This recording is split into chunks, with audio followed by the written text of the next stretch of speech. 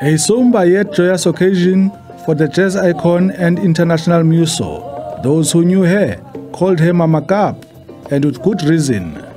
First year I traveled with her was in 1993 when we went to perform in in Canada for a children's festival.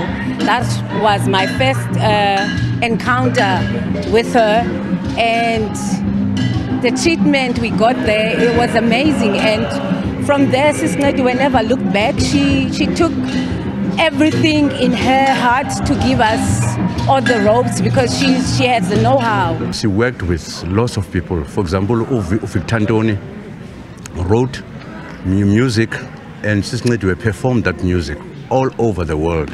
So Sis Ncediwe, she was something, some, something else. Most of all, she would be remembered as a mother, a diva, and a community builder. Family will remember umama as a peacekeeper as somebody who unites yabona family, and it was a pillar she was a pillar of inatsika family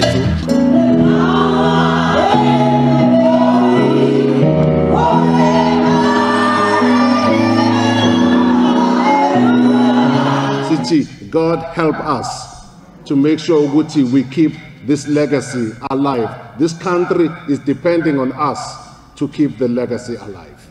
Mtunyelwa will be laid to rest in Langa this weekend. She leaves behind three children and her husband.